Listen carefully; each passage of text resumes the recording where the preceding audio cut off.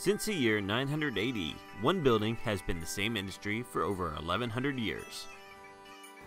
Hey guys, Tim Martini with Exploring the Obscure. Today we are in Athlone, Ireland, at Ireland's oldest pub, and soon to be officially the world's oldest bar. That's right, behind me is Sean's Bar, which has been here since 900 AD.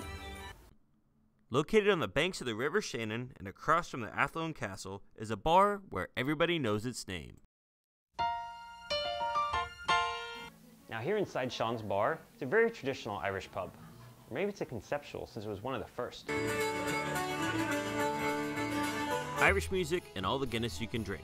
Although it hasn't always been called Sean's Bar, as our Pat Sajak looking friend Timmy Donovan explains to us, Luanne's Inn originated back in the year 900, with walls made of hazel sticks woven together and then plastered with horsehair and clay.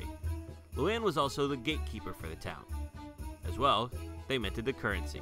Must be nice. But back in the 1950s, the bar was sold to a man named Sean, who passed it off to another Sean, and here we are today. Sean's Bar boasts a super cozy fireplace spot on the inside, as well as a nice patio for those outdoor lovers.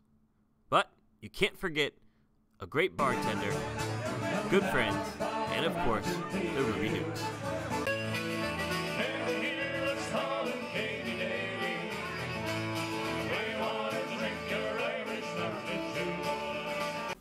From Ireland's oldest pub and possibly the world's oldest, from Athlone, Ireland, I'm Tim Martini with Exploring the Obscure. You can follow all of my adventures on Facebook and YouTube under Exploring the Obscure.